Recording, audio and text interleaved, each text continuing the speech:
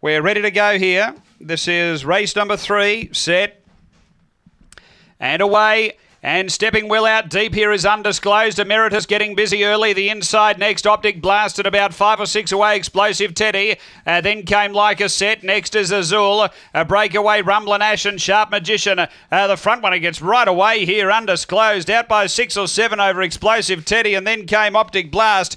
But down the running, it's all undisclosed. Undisclosed won it well. Second, Explosive Teddy. Uh, third is Optic Blast. And behind those runners next, uh, we had uh, like a set. Azul as well in front of it. Uh, then Rumblin' Ash and uh, Emeritus, who was up there early, uh, dropped back through the field very, very quickly and was uh, a little bit short in its action over the line. 22.87 the run.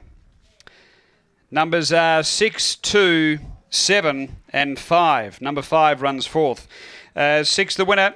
Undisclosed, Lisa Rasmussen. A blank bitch, April 2014. Kinloch Brae, Jesse Rumble.